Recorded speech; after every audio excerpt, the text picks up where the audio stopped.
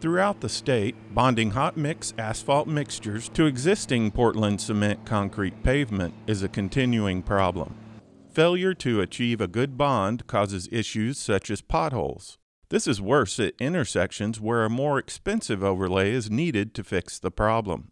Researchers at the Center for Transportation Research at the University of Texas at Austin are looking into best practices to achieve an adequate bond between hot mix asphalt and concrete pavement.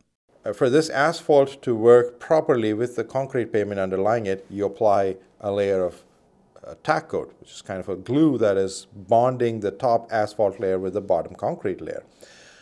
Uh, occasionally, it so happens that uh, if the surface texture of the underlying layer is not good enough, or if there's moisture or dust, or the quality of tack coat is not appropriate, or, or the chemistry of the tack coat is not appropriate with the concrete surface, you don't get a good adhesion between the tack coat and the concrete or between the tack coat and the asphalt above it. We've got a lot of concrete pavements throughout the state and historically they've had uh, an issue bonding hot mix layers to the top of them.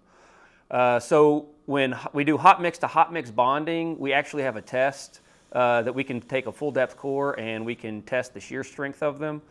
With concrete, that's difficult because we do continually reinforced concrete. So you would actually have to uh, core down over a foot into the concrete most times and go through rebar. So it's not really a feasible test to run uh, on, on concrete pavement. The main goal of this project, or the goals for this project, were to study what kind of processes should be used to prepare the underlying concrete surface and how can we evaluate the quality of the bond between the asphalt and the concrete through that tack coat layer in both in a lab scenario and also in the field.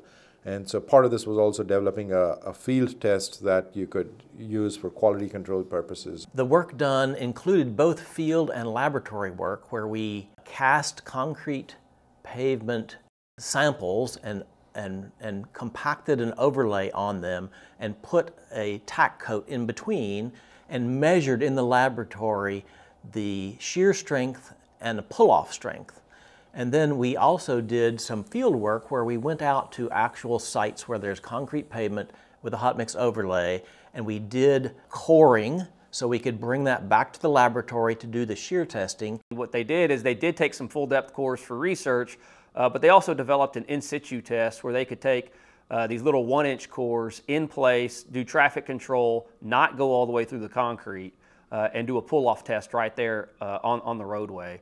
And so they were able to correlate that test to the shear test. So we have a pretty good idea of what we feel is uh, good quality in, in terms of bonding. So ensuring that we have the best quality materials and the best design processes to avoid premature failures and best design processes that will extend the serviceable life of pavement will ensure that we make best use of these taxpayer dollars. It was a good study. It, it kind of reaffirmed what we thought were good practices.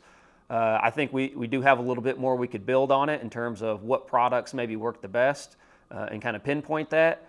Uh, but it also gave us this in situ test to get more of an idea of when we do place it, did we get the performance we thought we would we get?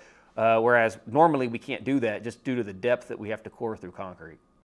For more information and to find the publications for this project, please visit the TxDOT Research Library at the link shown below.